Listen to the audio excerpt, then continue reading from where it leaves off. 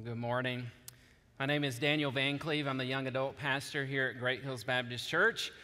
I have spent the last week um, preaching revival services in Spokane, Washington, long ways from here. And so Cherie and I were investing in this, this church up there and had a blast doing that. Then we jumped on this train, as if that was not exhausting enough. Uh, we jumped on a train in Seattle and rode down the west, west coast line all the way to San Francisco. Toured San Francisco uh, yesterday and caught a red eye back late last night. And so, if I fall asleep uh, preaching my own sermon, I'm giving you permission to throw a hymn book at me. And yes, I did check and did not find any hymn books out there. So we cleared that. Um, and so, uh, also, we were able to celebrate this month 21 years of marital bliss. I. I think she's going to keep me. So it was a great, great time. So today is 20, 20 years, 11 months, and five days.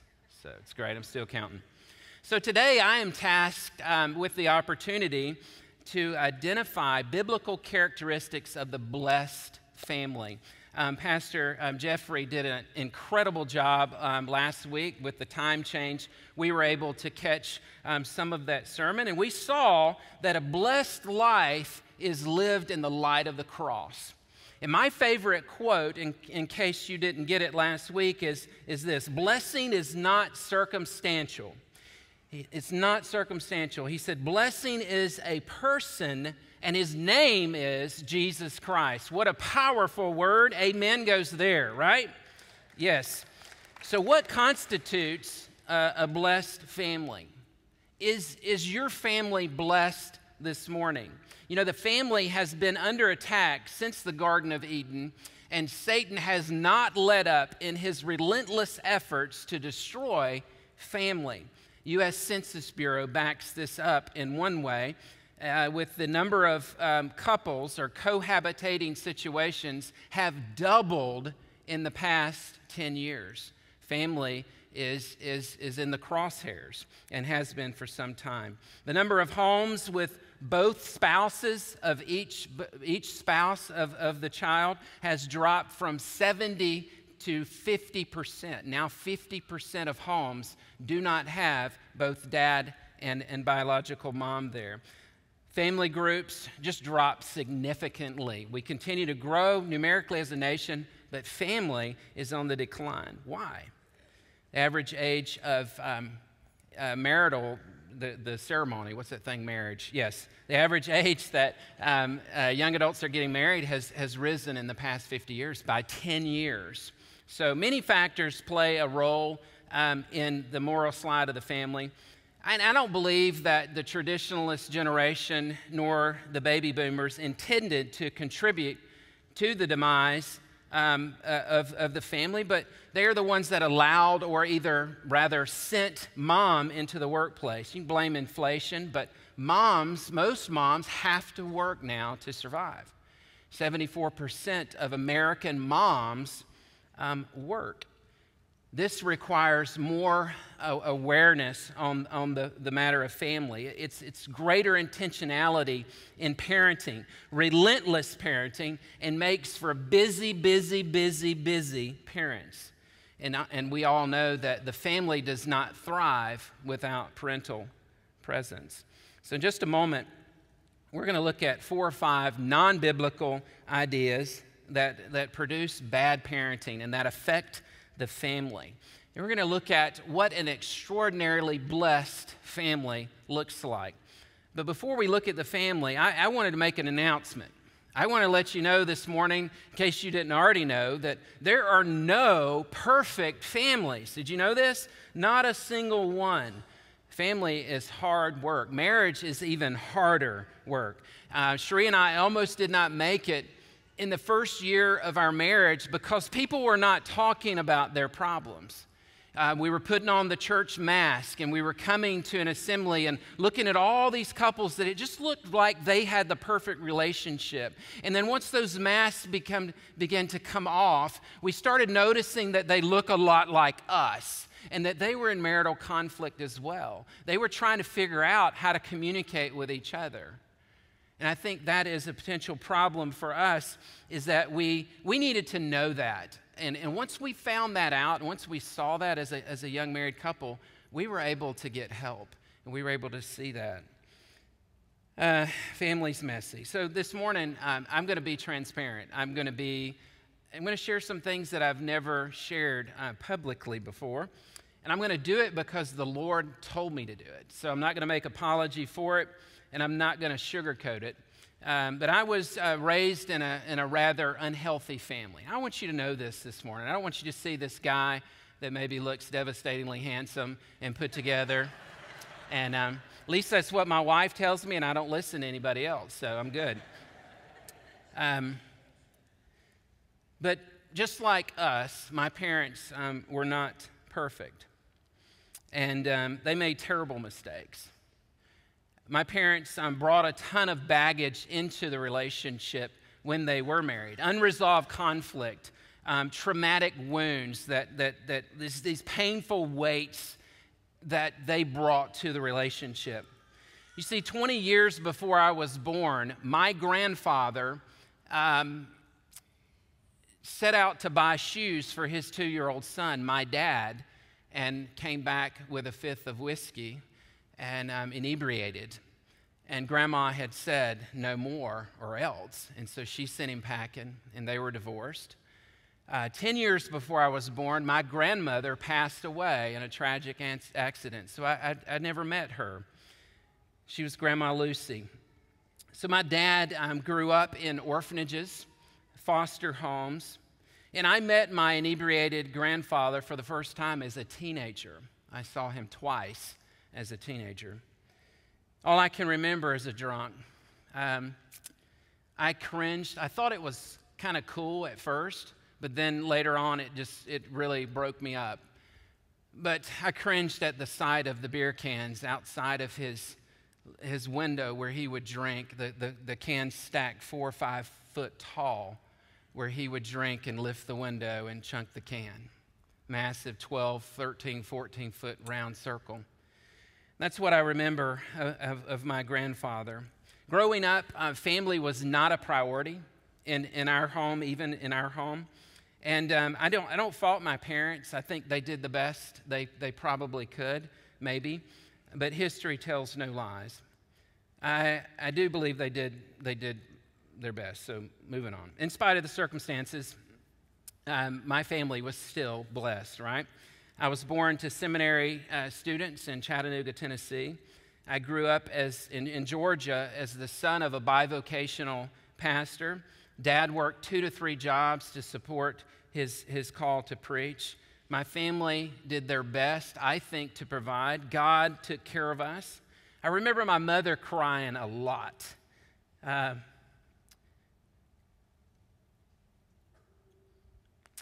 she explained away the bruises lived in 18, 18 homes by the time I was 15 years old. On career day, my buddies stood and said, I want to be a fireman, I want to be a police officer, I want to be an engineer. I, I stood and said, I want to be anything but a pastor. You see, I hated the thing that took my dad from me. Yes, other dads stepped in. Um, Sam Curry taught me to fish in his boat. Um, another Danny Howell taught me to ride a bicycle. Played catch with my neighbor. Never learned to tie a tie. I took encouragement um, from a television show host, the only man to ever tell me as a teenager, you can be somebody, was Bob Ross. Right? Painting little happy trees, and he said, You can do it too because you're somebody. I just happened to believe him. I just happen to believe him. For years, I blamed the church. I remember the church questioning the abuse in our home, but they never did anything. Um, denial, fear, lies stood in the way. At least that's the way I saw it. At age 17, um, I did everything that I could do to not be at home, including sleeping in my car. I began to drink heavily. Um, almost every day of my 17 year old life. Tried to drown my sorrows. My dad had an affair. Parents called us together and said, You know, we're just not going to do this anymore. And they told us they were getting a divorce. And I learned who hurts the most in divorces it's, it's the children. It was painful, it's hard um, to be pulled through that. Well, this morning, things are a little different. Praise the Lord for the grace of God that restores um, parents and restores those old mistakes, and that things are different with my parents now. Um, but I stand here today having been pelted by the favor and the blessing of God. You see, 18 years ago, I decided, I made a decision to make Jesus Christ the Lord and Savior of my life. And I went through bondage breakers and determined to not be victimized by my past, but allow God to shape my future and let Him take my mess and make a message out of it. And let Him take that stuff that He freed me from this generational curse. And I'm not going to repeat, by the grace of God, what was ingrained in me. I'm an extraordinarily blessed man.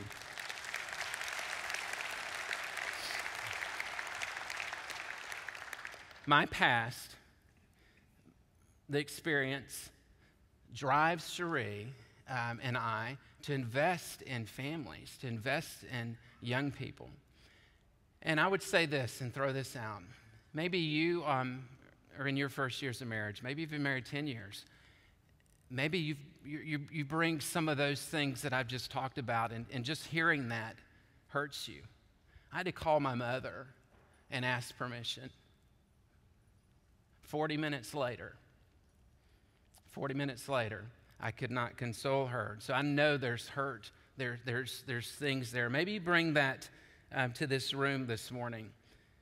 I'm excited to share with you a message about a blessed family. And we're going to look this morning at, at Psalm 1, and it's my desire to identify what constitutes a blessed family and how we can obtain more blessing. We're going to look at this idea of extraordinarily blessed and what it means to be extraordinarily blessed. Um, Psalm 1 is, is basically uh, the Hebrew, part of the Hebrew songbook, about 150 songs. And we're not sure who wrote Psalm 1.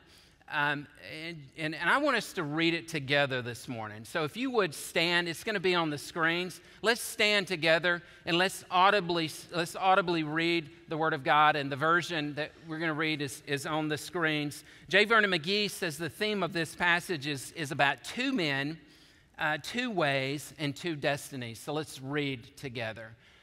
Blessed is the man who walks not in the counsel of the wicked nor stands in the way of sinners, nor sits in the seat of the scoffers. But his delight is in the law of the Lord, and on his law he meditates day and night.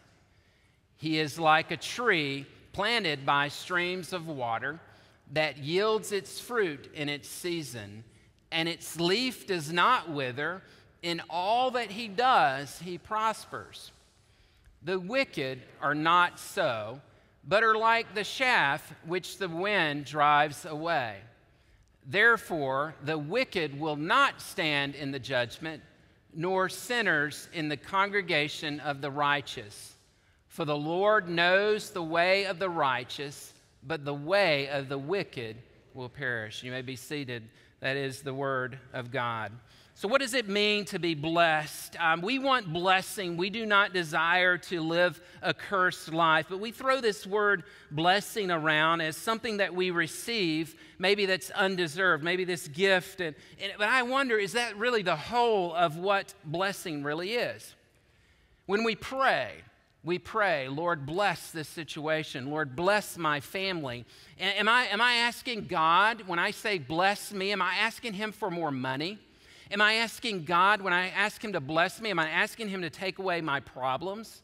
Or maybe I'm asking Him to make me taller or, or give me perfect health or maybe help my kids not to marry idiots. I don't know. What are we asking for when we say, Bless us, Lord? Are my blessings solely circumstantial? I think we saw last week that they are not. I'm blessed whether I feel like I'm blessed or not. Um, whether I get what I want or not, not because of a situational, circumstantial thing. Our society says that we are blessed when we have those things, though. Um, if you are to look at social media and search hashtag blessed, the number one thing you find is, is really, it's kind of cool. You find uh, pictures of family, really good stuff. Kid playing in the park, hashtag blessed. You know, I have my, my BFF or whatever, my bride, blessed. Um, you see other things getting something, like getting that raise. I saw several, and I looked at it several days. Um, and, and one thing that you will find are awkward pictures of, of people that are satisfied the way their body looks, blessed, not so exciting, but got a shiny new car, blessed, or the tree fell, didn't hit the car, didn't hit the house, I'm blessed. Am I saying that these things are not indicative of a blessed life? No, but they do not make up. Uh, they do not make up a blessed life. That's not the root of it. Um, write this down if you're taking notes. You have that little note sheet. This is not one of the blanks, but write down I am blessed because of who I am, not by what I have. I'm blessed because of who I am, because of who Jesus has made me, not by what I have. The greatest blessing we'll see this morning is in who we are, not our cool stuff or the ingredients in the mix. Another thought is when we say we are blessed, I have to think of it backwards. What, what could take place to render us not blessed? What, would happen or what would have to happen for us to not be blessed? So, as I'm looking at social media, I did find Jesus' Twitter. Yes, it's out there. Um, I found it. Um, I don't have a Twitter, but I found you can Google search and looking at, at, at Twitter. But I wonder if Jesus did really have a Twitter in his day, what would, what would Jesus tweet? Think about it. Um, I don't think he would have a Twitter. Um, some people don't need to have a Twitter, maybe. Just throwing that out there. But what would Jesus uh, tweet if he did? Um, Jesus, regarding Matthew 5, Matthew 5 says, Blessed are the poor in spirit. Jesus' tweet would say, Empty, no personal inward ability to please God. Hashtag blessed. Blessed are those who mourn. Jesus' tweet might say, Feeling grief, massive sorrow, blessed. Blessed are the meek. The tweet would be humbled with a heart positioned low, blessed. Or, blessed are those who hunger and thirst for righteousness, a strong desire to please God. Hashtag blessed. Blessed are those who are persecuted for righteousness' sake, harassed, attacked for my religious belief. Blessed. We don't get this idea of material possessions or perfect, perfect circumstances bringing about Jesus' words here. He, these things are typically associated with, with poverty or, or with, with need, with trial. Another thing you might should write down is blessing is the spiritual benefits of being joined by faith to Jesus. That is free. Blessing is the spiritual benefits of being joined by faith to Jesus. If you search this word um, ashle in, in the Hebrew or makarios in, in Greek, it means fully satisfied. Blessed means fully satisfied. And that satisfaction produces joy, joy in the Lord. And that satisfaction in turn brings about ultimate happiness. Um, the first blank in your notes that we're going to look at in Psalm 1 is, is what does it mean to be blessed? What does it mean to be blessed? And so, right under that, ultimate blessing and it's on this screen, is being fully satisfied in anything that God gives. Ultimate blessing is being satisfied in anything that God gives. It's not circumstantial. Um, Genesis 12 in verse 3, God made a promise to Abraham. He said, I'll bless those who bless you. And he goes on to say, In all, in you all, the families of the earth shall be blessed. The Apostle Paul talked of this in Romans 9, 10, 11, when he, he spoke of us being grafted in. We're blessed because we're a part of this family. We have an opportunity to be in the family of God. We're not born into that. We have the opportunity to surrender our lives to Jesus and to be a part. That's a blessing in and of itself. Um, it is the blessing of the Lord that leads to repentance. It's His grace that draws the lost heart. Everyone's blessed. Everyone is favored in some regard by God. Blessed is being at peace and a resolve that, that, that God is enough. God is, is plenty. It's, it's, a, it's a content position where no additives are needed. Um, Psalm 1 the extraordinarily blessed man um, does not do three things, and there's a couple things that he does. So let's look at Psalm 1. Um, the psalmist uses three trilogies of expressions to describe this blessed man. He employs this metaphor with three units that progressively get more and more intense. It's like a slope here. Some call it Satan's graduation plan. It's a metaphor of a walker who, who is walking and, and navigating carefully this path, but he listens to the ungodly, or he's tempted to listen to counsel that is not of God's word. And then he stops and, and he, he, he carouses at the wrong place and stands with the wrong crowd. And then finally finds himself among mockers, amongst wrong, the wrong crowd, p- sitting in bitterness and making mockery of God's word. And so we're going to look at an extraordinarily blessed family. That's number two is a, a, a, how can a family be extraordinarily blessed? How can this happen? And um, I believe, if you want to write this down, take, we need to take our counsel from God's word. Extraordinarily blessed family takes their counsel from God's word. They don't walk in that way, refusing to follow the flight of those who do not follow Jesus, rejects the influence and those influences around us and, and focuses on what is thus said the Lord. Choose who you listen to. I wonder how many things, and I, have really wrestled with this message. How many things have I allowed, or what situations or, or circumstances in my life have, have built this platform for myself personally to be led in an ungodly fashion, to be influenced by this talk on this pathway that I'm not supposed to be on. And so, four things that um, I want us to, to jot down if you, if you have a pencil. Um, one of the things that I think we do when we refuse to follow the counsel of God's word is we, we, we outsource our responsibilities.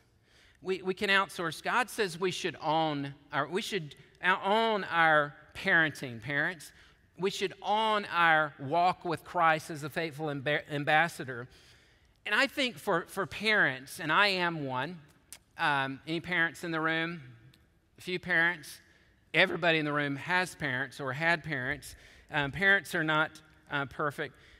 But there was a critical shift in the 50s or the, the late 40s when television came on the scene. In 1948, less than half a percent of homes had a television. In 10 years, that number jumped to 82.2% of homes in the US have a television. The influences began to, to creep in as, as, as families grew, and some parents maybe not home, and, um, and it, you can even be home and not engage in parenting, by the way. Um, that's really easy, especially with media as, as, as prevalent and available as it is today on an iPad or a cell a device or whatever. It's everywhere. It's everywhere.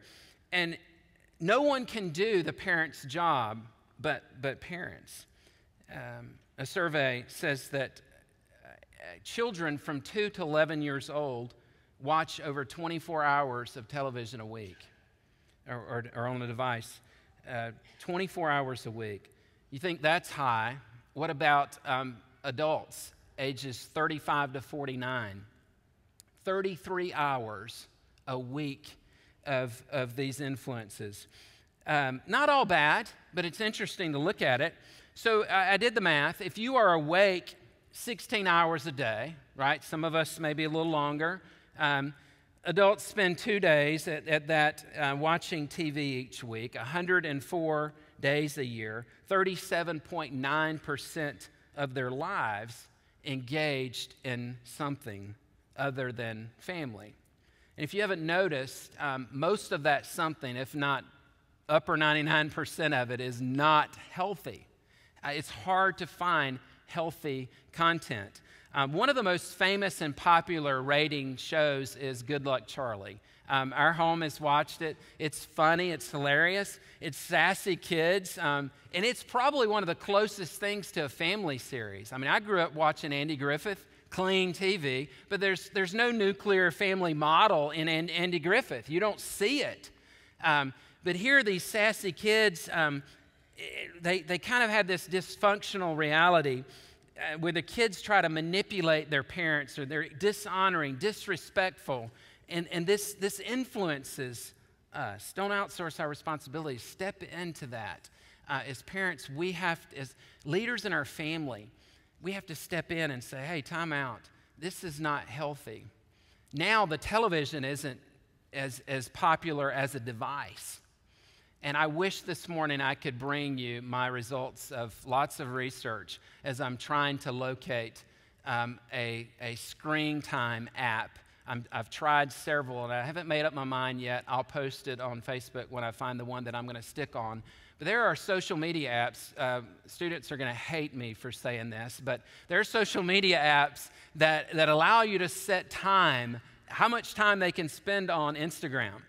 And then after several hours, or maybe you set it for you're a really smart parent and you, you don't want them on Instagram for like 12 hours a day, um, you set it for 30 minutes 31 minutes, it shuts Instagram off.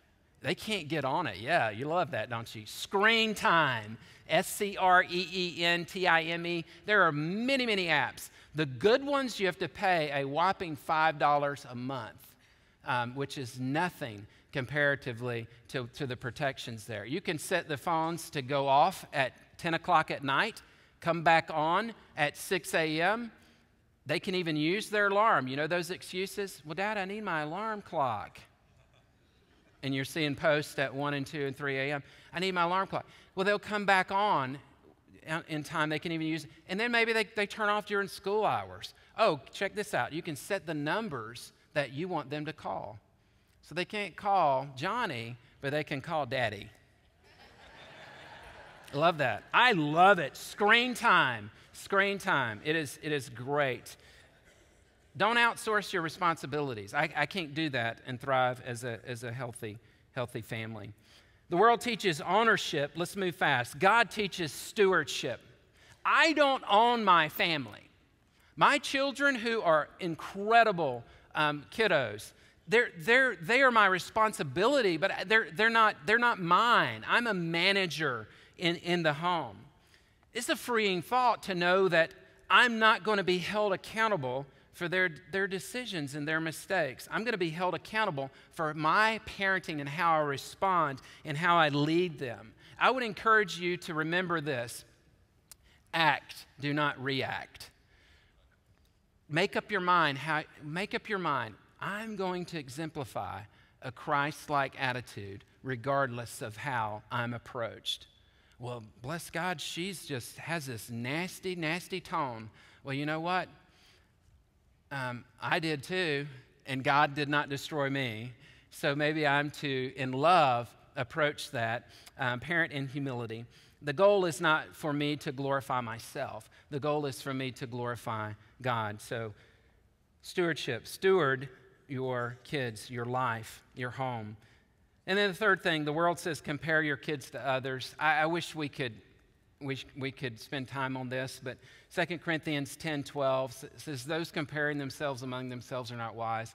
We should not compare ourselves to, to each other. Just not a healthy thing. And I've seen this crush teenagers' lives and young kiddos' lives. Um, don't compare our, ourselves among ourselves.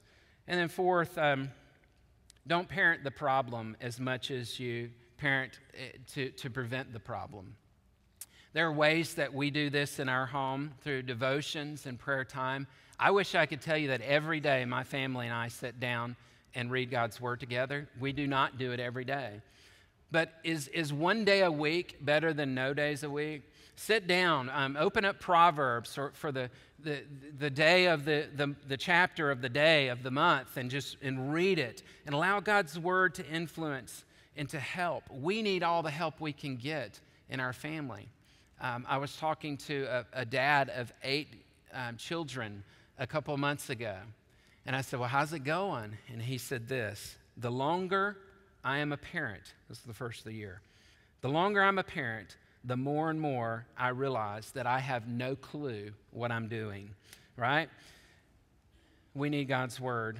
Um, the other thing is, we don't parent to make our kids happy. Um, it's, it's just not what God's called us to do. We are called um, to be holy. Holiness is the objective. A blessed family listens to God's word. Got it? Also, a blessed family uh, does not stand in the way of sinners. The extraordinarily blessed family refuses to compromise their position. Notice the progression. There's a road that he doesn't walk on. Now he's encouraged to not stop. Don't position yourself in vulnerability or stop where you can be influenced and be lured in by ungodly counsel. The blessed family positions themselves for this. And then we see he does not sit in the seat of scoffers. This Hebrew word less is to not position yourself. I'm sorry, the Hebrew word less is someone who jeers, mocks, or treats someone with contempt, to call out in derision. The extraordinarily blessed family does not take communion with just anyone. 1 Corinthians 15:33 says bad company corrupts good manners. We have to be careful with this who we take a break with, who we sit with. Yes, we need to be sitting with people, but we need to play on our own turf and we need to have, be rooted and solid, grounded in God's word. Then we see in verse 2 his delight is in the law of the Lord. The word of God is the extraordinarily blessed family's plumb line for truth.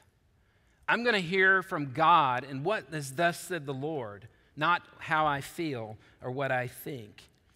He says he delights in the law of the Lord. This word delight is a feeling of extreme pleasure, satisfaction in God's word. The psalmist described it, Psalm 119, 109. He said, How sweet are your words to my taste, sweeter than honey to my mouth.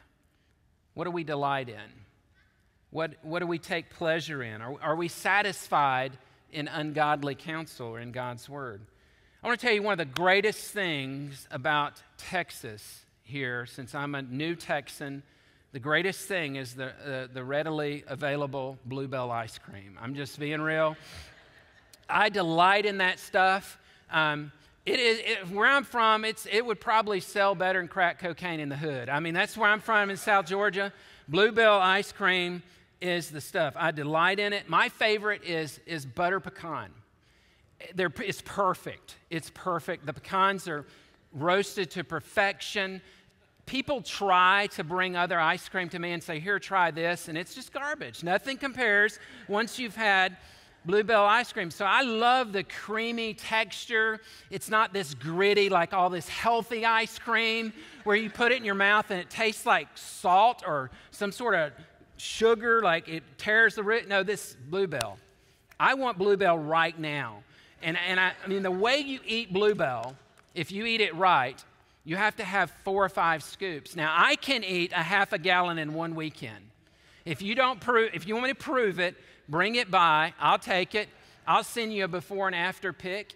And I'm, I'm stingy with it. And one of the main reasons I started liking butter pecan is that none of my family likes butter pecan. So, except Cherie, she she will eat butter pecan when I tell her the truth. You know, there's actually a scoop or two left. I have been known to um, forget that it's there until I want my butter pecan, but nothing will satisfy my cravings um, for bluebell ice cream except bluebell ice cream. I delight in it. I'm just going to be real. Um, it's, it's better than breakfast, lunch, and dinner. Bluebell, bluebell, bluebell. Um, I think this is what the psalmist is saying when he says that the extraordinarily blessed man delights in God's word. It, it, it, it satisfies a craving in my life that nothing else will. Mm. The extraordinarily blessed person does not take their counsel from anywhere uh, but God's word. Take your counsel, counsel from God's word. Uh, Matthew 22, uh, 37 says, To love the Lord your God, we know this verse, with all our heart, all our soul, and all our mind, and our neighbor as ourself. This is good counsel. And, and I'm to love the Lord first and foremost in my home as a father, as a husband. Um, and the greatest thing that I can do for my family is to let them see me love the Lord first. And the second greatest thing I can do for my family is to let them see me love my wife second. And it's a great, great thing. And those two run hand in hand. Um, Luke, Luke 11, 28, Jesus said, Blessed are those who hear the word of God and keep it. And, and this is something that, um, you know, I'm, I bounced down a little too far. I'm going to back up because I did not finish um, this up here. So give me just a second. We um, flew in late and got in bed at 2 a.m., and I counted 11 hours sleep in the last three days. So don't throw anything. I'm moving. I got it.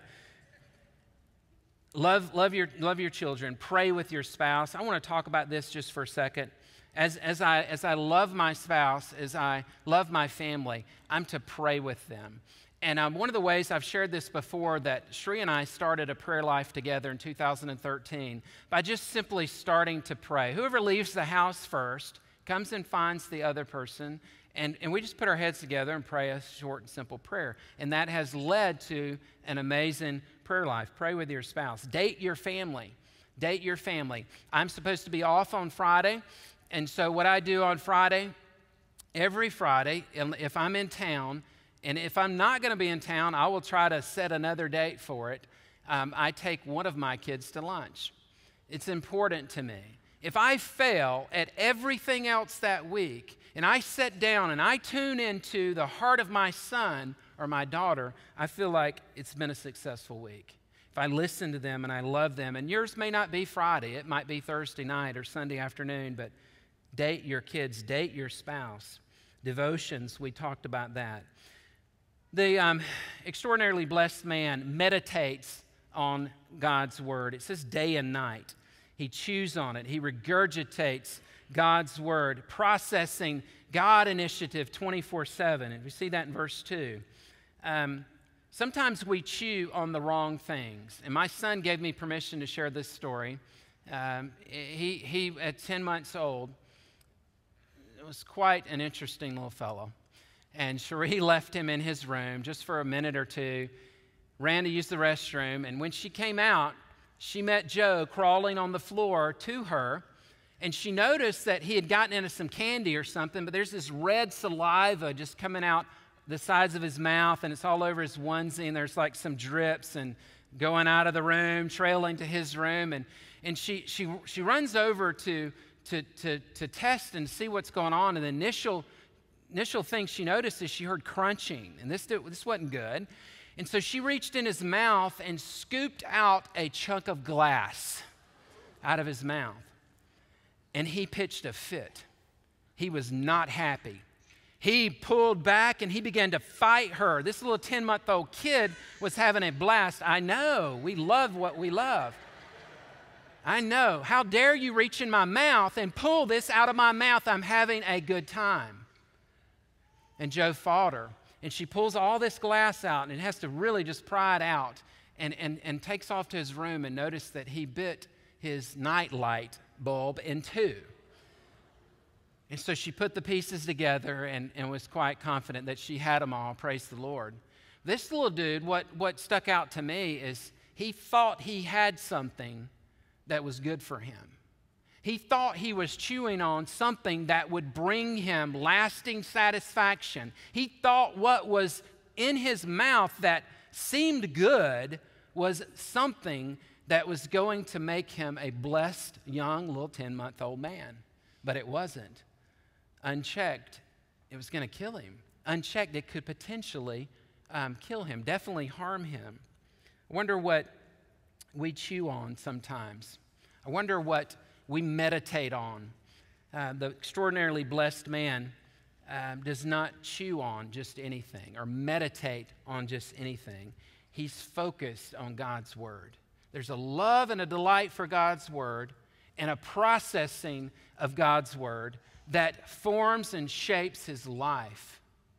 This is what an extraordinarily blessed person is. Listen faster. Verse 3 He's like a tree. He's like a tree planted by the rivers of water. And I have a picture of a tree. I stopped and snapped a picture of this tree um, on my run beside the Spokane River. And here's what I noticed with this tree this tree's massive, it's big. And, and, and what I noticed was, is this tree is alive with life and, and it, it, it, went up and went up so big I couldn't have put it all in, in the frame from where I was standing. But as big around as this tree was, I couldn't have wrapped my arms halfway around it. But what I noticed that stunned me was none of the other trees around that tree was as big as this tree. God's word says he's like a tree planted by streams of water. And it hit me. This guy is right beside, literally eight feet from water from his nourishment, from what brings him satisfaction, what brings him what he needs to be blessed. He's planted there. The other trees were small. Really, I could reach my arms around him. This guy's massive and big. A blessed life is like this. He's planted, planted by whom? God. That's so beautiful. By streams of water, he's positioned for success, has plenty of nourishment, and the supply is not going out. It's there. Um, he also yields his fruit in his season. So much we could say there.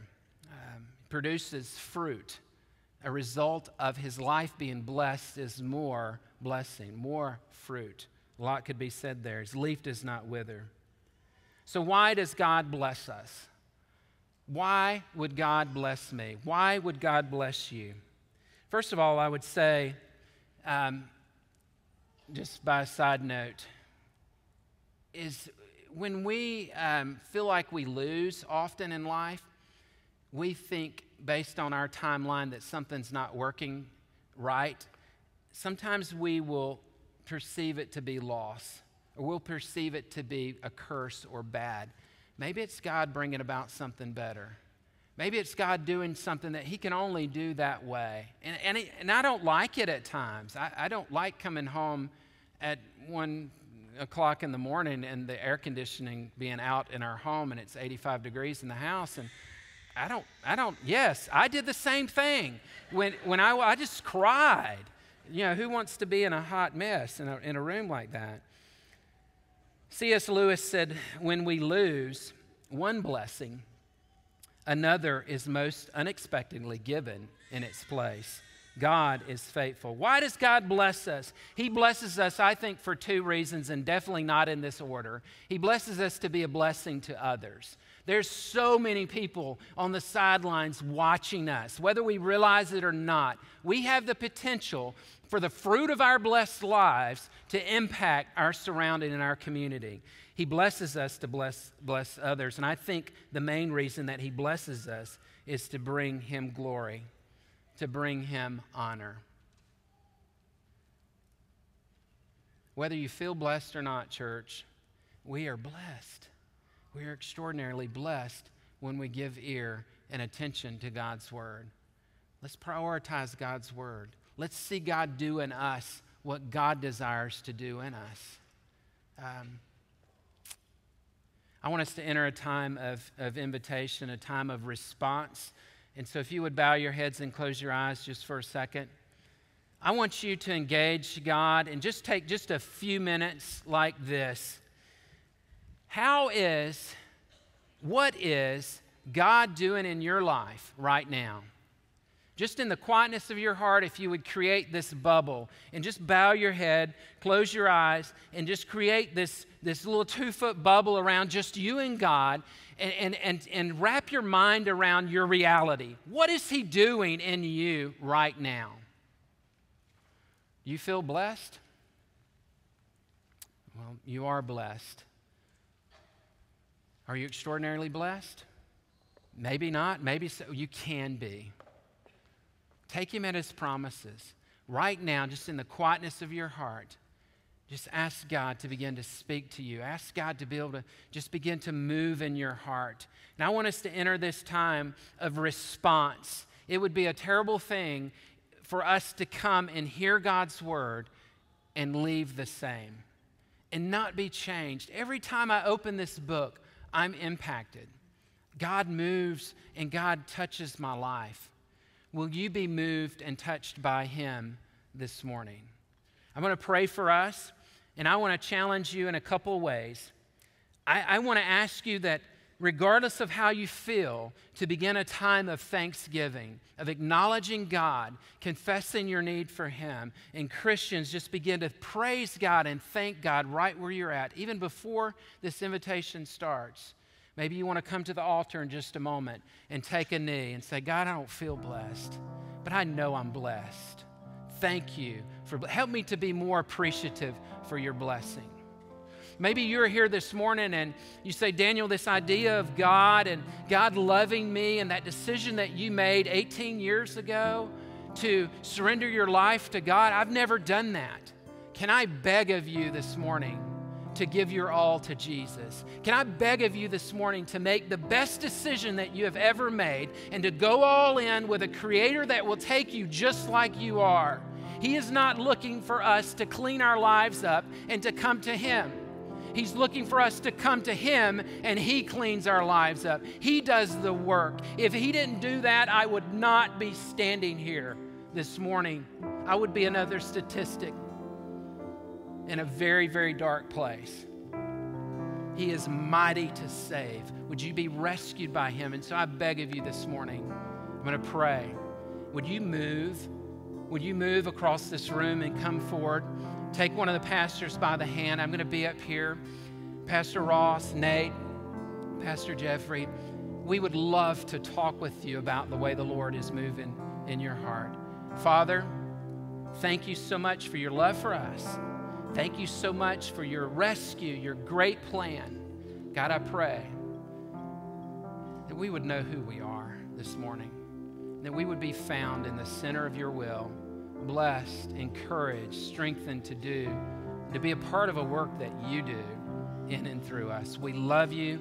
We trust you. Move in this place. In Jesus' name we pray. Would you stand with me and you move as the Lord leads?